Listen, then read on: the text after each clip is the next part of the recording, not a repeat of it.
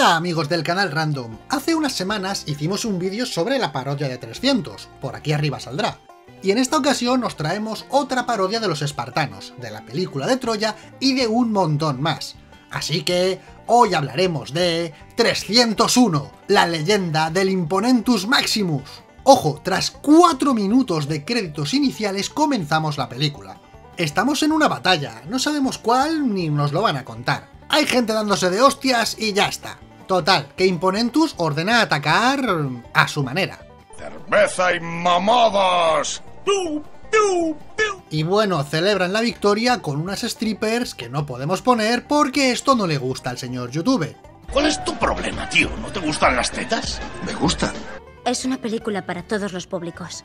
El rey ha convocado al general Imponentus Maximus porque quiere que se reúna con su hijo, Orlando, que está en Grecia mojando camisetas. Así que el destino de Troya está en sus manos. El destino de Troya está en tus manos, Imponentus. Y su mujer ve en esto una gran oportunidad para ser reina. Saca la cabeza de tu culo y escúchame. Mientras tanto, el rey de Grecia, rey erótica, estaba a punto de someter al ejército de Tesalia, y la lucha se decidirá con un combate entre los campeones de cada ejército. Pero el elegido de Grecia, Testicles, no aparece. Testicles, sí, lo has oído bien. ¿Es cierto lo que dicen de ti? ¿Que me depilo el culo? La leyenda cuenta que cuando nació, una diosa le sumergió en un río mágico que le hizo invulnerable, salvo los pirindolos, que por lo que sea no se mojaron. Total, que llega al lugar de la batalla. ¿Sabes? Que te den por el cacas. Y la pelea dura bien poco, la verdad. Así que el rey erótica conquista la tierra de los tesalienses y lo celebra con Imponentus y Orlando, el cual se queda a solas con la mujer de erótica para... enseñarle lo que rima con Troya, ¿eh? ¿Cómo de enorme? Bastante. Ah, no, no, que solo querían saltar en la cama. ¡Uah, qué gracioso! En fin, Orlando quiere llevarse a la rubia a Troya, y esto provocaría una guerra o algo así, pero les da igual. Así que cuando ya están en el barco a Troya, Orlando le cuenta a Imponentus que la rubia va a bordo, y le llora al general para que no la devuelvan a Grecia. Pero quien realmente le convence es Ellen, con lo que le presenta a la chica a su padre como Ellen de Troya. Uf, ¡Qué original! El guionista se ha partido la cabeza para ponerle el nombre. Y al rey no le importa ir a la guerra, ya que ahora cree que a su hijo no le gustan los hombretones, que era algo muy raro en Grecia, ¿verdad? Mi hijo no afila lápices, no le gusta la soldadesca. Así que el rey erótica convence a Testicles que combata a los troyanos. Para ello, la madre de Testicles tendrá que darle el visto bueno. Deseo que estés dentro de mí. Lo estuve durante nueve meses. La mujer de Imponentus, Picantesa, está enfadada con él, porque Orlando podría ser el heredero del rey. Ahora va a creer que Orlando no es un afilador de sables y le nombrará rey. Y ojo a la banda negra que hay arriba, pero menuda cutrada, esto no lo vio nadie. Imponentus acude a ver a los éforos por consejo de su mujer, y les cuenta que puede que se desate una guerra, con lo que van a consultar a la oráculo, que resulta ser Ellen. Así que consultan a otra gran oráculo. Los éforos le dicen a Imponentus que elija un número entre 1 y 10.000, a lo que el Russell Crowe de AliExpress le responde 300, y este será el número de soldados con el que tendrá que enfrentarse a los griegos. Una vez formado este ejército de destripaterrones, descubren a alguien espiándolos. No me escondía. Mido 90 centímetros. Quiero destrozar a algunos griegos. ¡Ah! ¡Oh, qué adorable! Y bueno, se pone a bailar porque es su cultura y hay que respetarla. De repente les avisan de que llegan los griegos y le prohíben combatir a Minoritis, que se va. Testicles va en barco con su primo al que no dejará combatir, con lo que solamente serán 10 soldados y no esperarán a los 10.000 barcos que van tras ellos. ¿Qué podría salir mal? ¿Qué podría ir mal llegados a... ¡Oh! ¡Mierda! Orlando prepara a Imponentus para la batalla, y el Fanegas comienza con su discurso a lo William Wallace. Mientras tanto, el rey entrega la espada de Troya a su hijo. Cuando maten a ese mariconazo, tráeme la espada. Testicles discute con el rey erótica y lo abandona, así que se reúne con Imponentus antes de la batalla. Colega, no voy a mentirte, me estás dando mucha grima. Pero bueno, nuestro amigo no consigue que Erótica cambie de idea. ¡Vais a morir! Si os está gustando este vídeo y queréis apoyar al canal, dadle al botón de gracias, hombre, y dejadnos una propinilla que se agradece un montón. ¡Muchas gracias! Venga, a darse espadazos, ¡vamos!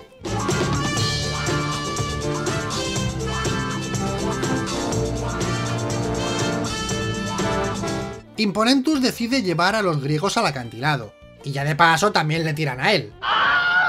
Y este hubiera sido un buen final para la película, pero no. El director decidió que lo mejor era seguir torturándonos porque 45 minutos no eran suficientes.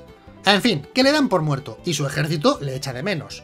Picantesa está triste porque no será reina, y Minority se está haciendo un trato con Erótica para decirle cómo atravesar las defensas de los troyanos. Imponentus sigue vivo, pero tras desmayarse lo atrapan y lo encierran, para venderlo como esclavo.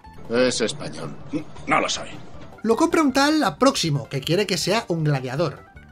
Si eres Imponentus, ¿qué cojones haces aquí? Y bueno, en nadie se cree que este Fanega sea Imponentus. Soy Imponentus Maximus. Y yo soy Alejandro Magno. Tu polla me está pisando. Uy, perdona. Resulta que Erótica ha organizado unos juegos para gladiadores, así que a Próximo llevará a sus esclavos a un campamento de entrenamiento, y el Russell Crowe cutre aprende a luchar, con lo que dan comienzo los juegos.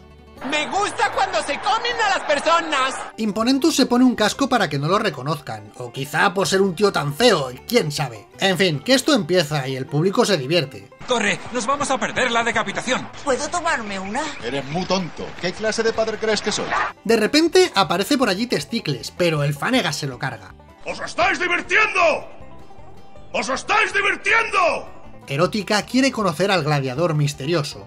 Mi nombre es Imponentus Maximus. Resulta que no mató a Testicles, sino a su primo. ¡Me has matado, cabronazo! Erótica tortura al pellizcabombillas. Mientras tanto, unos soldados le dicen a Testicles que Imponentus ha matado a su primo. Y claro, se enfada. Y le suelta un golpe que parece sacado de una versión cutre del Street Fighter. Pero no se enfada por la muerte del primo, eso da igual. Se enfada porque le han confundido con él. Y ahora sí que sí, llega el auténtico Testicles, que se abre paso entre los griegos mientras Imponentus escapa para volver al castillo donde... abrillanta la espada, ¿eh? En cambio, los griegos se entretienen preparando un plan de asalto, que consiste en regalarles un ciruelo gigante, en el que se ocultan los griegos. Pero a verga regalada no le mires el diente. Tras entrar en la ciudad, los griegos salen y reparten golpes en los pirindolos a todo el mundo, porque es su cultura y hay que respetarla. ¡Joder, que corre el aire! En fin, que todo se resolverá en una lucha entre estos dos... ¿titanes?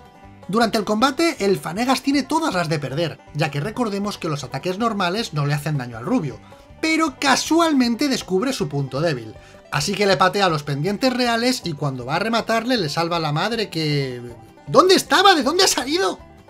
Es un misterio. Muy misterioso. Y bueno, que Orlando le declara su amor a Erótica, ¡Soy gay! Ya que resulta que secuestró a Ellen para llamar su atención porque estaba celoso o algo así, Esta guerra se acabó. Nosotros ganamos. Así que Picantesa será reina y Ellen vivirá con ellos. Y bueno, resulta que todo esto no se sabe si era real o no, porque parece que era la historia de un borracho que contaba en un bar para ligar. Así que parece que hoy nos quedamos sin el mítico chiste de peos. ¡Bum! Eso es todo un clásico, perra. Y ya que estamos, pues damos paso a las tomas falsas para que esto sea todavía más largo. ¡Devuélveme mi pollo, hijo ¡Eh, puta! eh, eh! No había más presupuesto. Fin. Recuerda, si te ha gustado el vídeo, dale al like, suscríbete si aún no lo has hecho y activa la campana para que te lleguen notificaciones de nuestros vídeos.